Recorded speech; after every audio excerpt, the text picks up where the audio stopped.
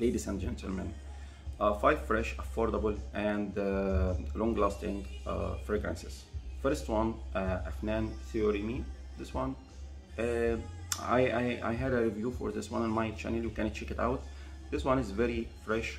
In the beginning you can get the grapefruit very very natural smell the dry down you will get um, the ambroxan and uh, the woody the woodsy notes it's um, it, it's going to remind you of Sauvage and uh, Bleu de Chanel and it reminds me also of uh, Dior Elixir.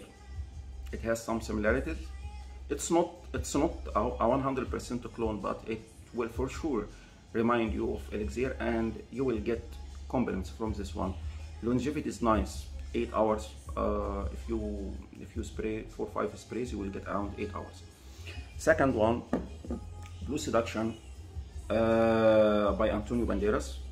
Long lasting very similar to Versace Eau Fraiche but Versace Eau Fraiche is around 50 USD this one is around 17 USD um, very nice very nice you will get compliments from this one.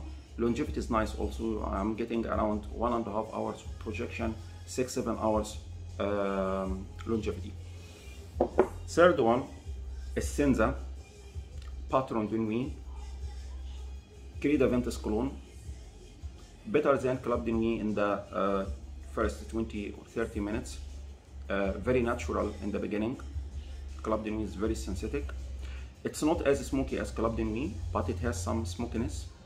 It I would say it's uh, similar to Afnan Supremacy more than Club Nuit but better than Afnan Supremacy. It's it's more natural smell and it's long lasting. Even the bottle itself is very nice. You see it's it I can hold it from the cap and the bottle is heavy and uh, there is quality in this fragrance. Third one Armaf Ventana very cheap. It's around 20 USD um, not as long as the uh, other four fragrances. Not as uh, the, the longevity is not as good as the other four fragrances but it will give you around five six hours one hour of uh, projection. It's not bad because it's very cheap. And I, I found Armaf Ventana to be the closest uh, clone to uh, uh, Dior Sauvage EDT it's very close.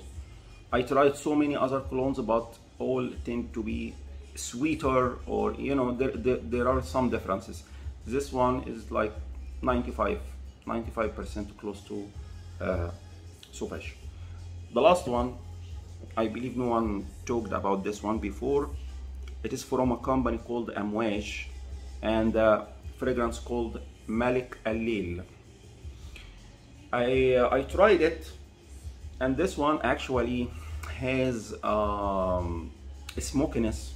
Like if, if you know um, if uh, if you know the smell of uh, Acqua di Gio Profumo um, there is incense yet it's fresh. This is going to do the same job. It's um, it's spicy and very fresh.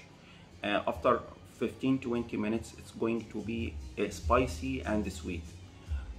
I can't tell if it is clone of any other fragrance but it's very very nice smell same category of um, Acqua di Gio uh, um, little bit similar to Profondo as well uh, but it's more similar to Profumo uh, I would say the longevity of this one is very very nice around 8 to 9 hours and it's very affordable under 20 USD if you can find it. Hope you liked this video. Please support my channel. Thank you